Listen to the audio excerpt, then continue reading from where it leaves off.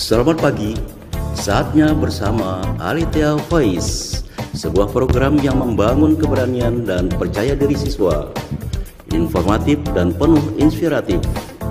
Ajang menyampaikan pendapat, kreasi, dan ekspresi, dipandu oleh Bapak Ibu Guru yang berkompetensi di bidangnya.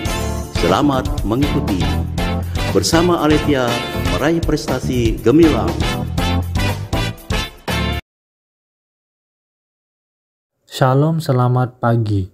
Saatnya bersama Aletea Voice, sebuah program yang membangun keberanian dan percaya diri siswa, informatif dan penuh inspiratif. Ajang untuk menyampaikan pendapat dan kreativitas. Bagaimana kabarnya pagi hari ini? Semoga sehat dan penuh semangat ya. Pak Andri akan menemani kalian selama beberapa menit ke depan.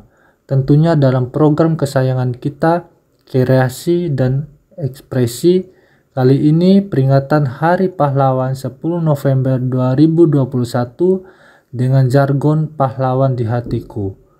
Insinyur Soekarno dalam pidatonya menyampaikan jangan sekali-kali meninggalkan sejarah yang lebih dikenal dengan singkatan jas merah. Karenanya, kita tidak boleh meninggalkan atau melupakan jasa para pahlawan yang rela berkorban jiwa dan raga dalam memperjuangkan kemerdekaan Indonesia. Peringatan Hari Pahlawan penting untuk diperingati agar generasi muda dapat mengerti dan memahami sejarah para pahlawan yang berjuang melawan penjajah. Walaupun sulit untuk sepenuhnya dihafal, tapi paling tidak kita dapat mengambil pelajaran dari sikap dan komitmen para pahlawan tanpa basa-basi, langsung saja kita akan dengarkan pemenang program membaca biografi pahlawan nasional yang akan disampaikan oleh siswa-siswi kelas 6B SD Kristen Aletia Ampenan. Selamat mendengarkan. Selamat pagi semua, nama saya Jessica dari kelas 6B. Hari ini saya akan membacakan biografi Ajun Inspektur Polisi 2 Anumerta Karelsa Switubun. Ajun Inspektur Polisi 2 Anumerta Karelsa Switubun atau KS Tubun adalah pahlawan revolusi asal Maluku Tenggara.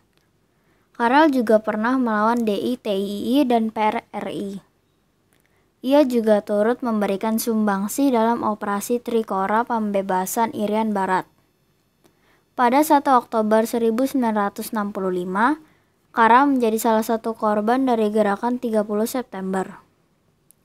Karel pun menjadi pahlawan revolusi pertama yang diakui dari kepolisian. Kehidupan, penangkapan, dan akhir hidupnya. Karel Sasitubun lahir di Rumadian, Maluku Tenggara pada 14 Oktober 1928. Ayahnya bernama Primus Sasitubun, dikenal oleh rakyat Maluku Tenggara sebagai orang yang taat beragama. Ibu Karel sendiri sudah meninggal dunia sejak ia berusia tujuh tahun.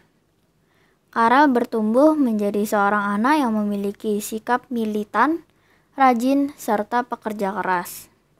Ia bersekolah di SD Kristen Katolik sejak 1935 dan tamat pada 1941.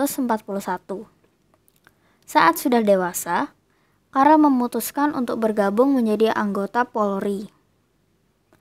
Karel kemudian ditempatkan di Kesatuan Brimob Ambon dengan pangkat agen polisi kelas 2. Tahun 1954, ia ditarik ke Jakarta dan mendapat pangkat polisi kelas 1. Lalu Karel mengikuti latihan Brimob di Sekolah Polisi Negara Megamendung, Bogor, Jawa Barat. Pada 18 Februari 1955, Karel bertugas di Sumatera Utara. Ia juga sempat bertugas di Aceh pada 1956 selama tiga bulan.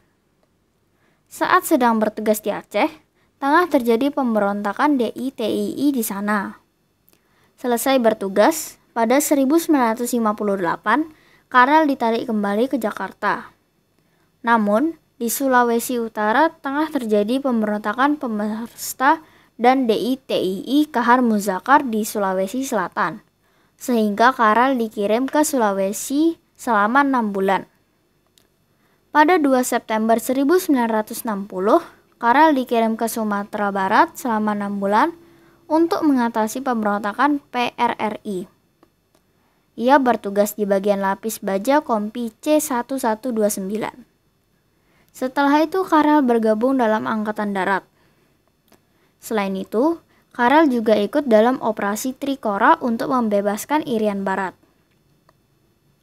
Selesai dari Trikora, Karel pun ditarik kembali ke Jakarta dan diberi kenaikan pangkat menjadi brigadir polisi.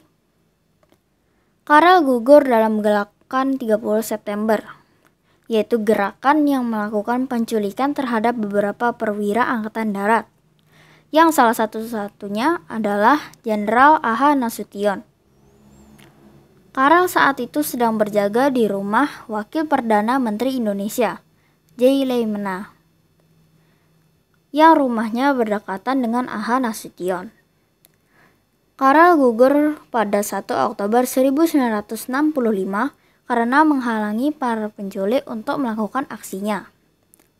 Penghargaan atas segala jasa-jasa Karel, ia pun dikukuhkan menjadi pahlawan revolusi dan pahlawan nasional Indonesia. Selain itu, pangkatnya juga dinaikkan menjadi ajun inspektur dua polisi.